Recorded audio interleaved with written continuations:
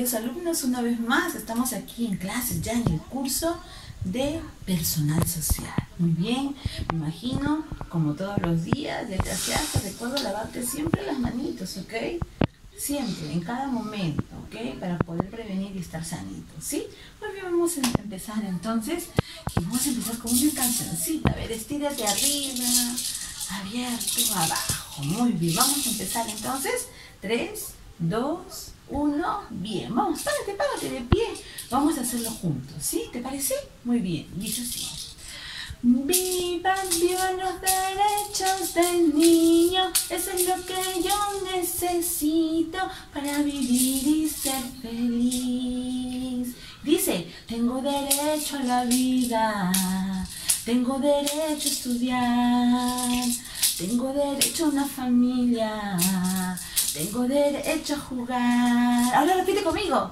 Vivan, vivan los derechos del niño. Es todo lo que necesito para vivir y ser feliz. Muy bien, palmas. Muy bien, lo hiciste muy bien, amigo.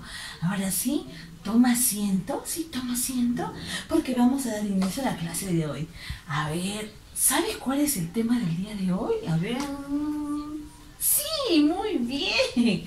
Sabía que lo ibas a adivinar de pronto, ¿eh? Hoy vamos a hablar de cuáles son tus derechos, mi estimado y querido alumno. Los derechos del niño. Muy bien. Como ustedes sabrán, ¿no? Cada uno de ustedes eh, tiene muchos derechos, los cuales tienen que ser salvaguardados por nosotros los adultos en todo momento, ¿ok? ¿Para qué son importantes los derechos, mi Claudia? Los derechos son muy importantes, alumno, para que tú puedas crecer, vivir y sobre todo desarrollarte en un ambiente feliz. Y es muy importante que tú sepas cuáles son tus derechos, ya que tanto los adultos como la sociedad debe de contribuir en todo momento para que cada uno de tus derechos se cumplan, ¿ok? Muy bien, ¿sabes cuál es tu primer derecho? A ver, vamos, vamos, vamos a pensar todos un poco. ¿Cuál será tu primer derecho? Cuando la mamá sale embarazadita, la mamá decide dártela vida. Muy bien. Cada uno de ustedes, alumnos, desde primera instancia que ustedes fueron creados en la barrita mamá, de que Dios les puso ahí la bendición, ¿verdad? Ustedes eh, la mamá les otorgó ese derecho de poder vivir, ¿no? Obviamente siempre, en todo momento, pues bajo la bendición de Dios, porque Él es el que nos da, ¿no? Ese don de vida. También tienes derecho a la identidad, al hecho de poder tener un, un nombre, un apellido, bueno, apellidos de papá y mamá, ¿no? En este caso.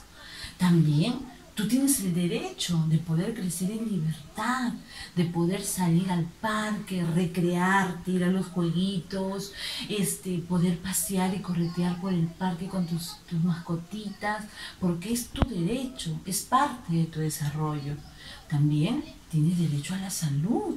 Claro que sí. Cuando ustedes son pequeñitos, desde que son bebés, constantemente a veces ustedes se enferman y ustedes están en el derecho de, ser atendidos en primera instancia, de poder salvaguardarlos en todo momento.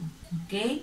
Y cómo no, también tienen derecho a la alimentación Ustedes tienen que alimentarse de una manera correcta para que su desarrollo pueda ser bueno, porque cuando no nos alimentamos bien vienen los problemas. Recuerda comer menestras y todo lo que son tubérculos, este, ¿no? Tu, tu comer como debe ser. Y obviamente eso quién lo va a respaldar? Tus padres. ¿Por qué? Porque ellos están en el derecho de protegerte, darte una buena alimentación. Muy bien.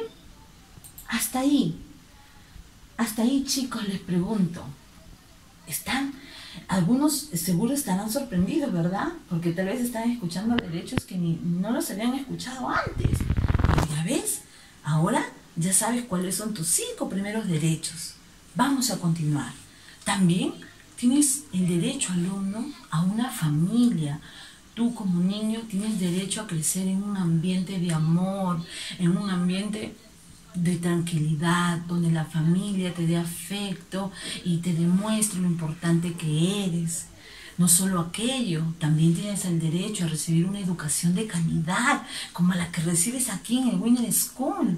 Tú sabes que si ahora nos hemos separado es porque por todo lo que está sucediendo en la coyuntura, actualmente en la sociedad de coronavirus.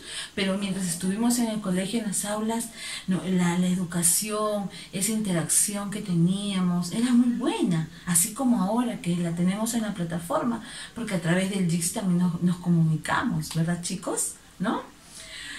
Otro derecho que tú tienes es el derecho al socorro, a la protección, que si por A o B tú te encontraras en algún momento, este, en un momento de peligro, ¿no? Tú este, te estás en el derecho de que alguien te pueda socorrer, porque tú eres aún pequeño, ¿ok? También, alumnos, ustedes tienen el derecho a no ser maltratados. Nadie tiene por qué maltratarlos. Ese es un derecho que tú tienes que saber, porque simplemente el castigo no corrige nada, ¿ok?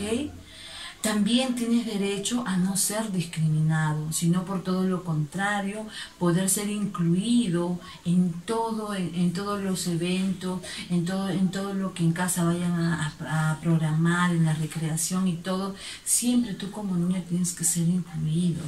¿Ok? Entonces, chicos, qué importante es que ustedes sepan por qué se tiene que cumplir cada uno de sus derechos. Sé que de aquí en adelante, si ustedes se encontraran con algún contratiempo o de repente escuchan algo por ahí y no saben cómo actuar, ya saben que ustedes tienen derechos que los respaldan. Muy bien, entonces, ahora sí, vamos a ir al desarrollo de nuestro compendio escolar, ¿ok? Una vez más, te doy la indicación que si hubieran contratiempos, por favor, recuerda escribirme a través del tablón en la plataforma, porque yo estaré pendiente para poder atenderte, ¿ok? Muy bien chicos, chao.